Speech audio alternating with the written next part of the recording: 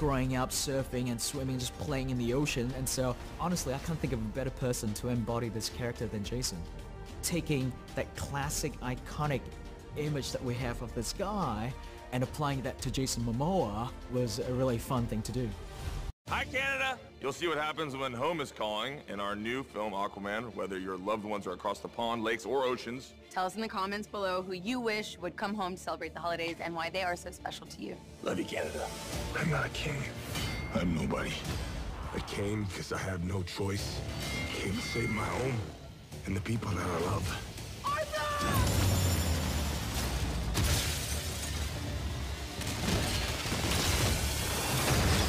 Was awesome.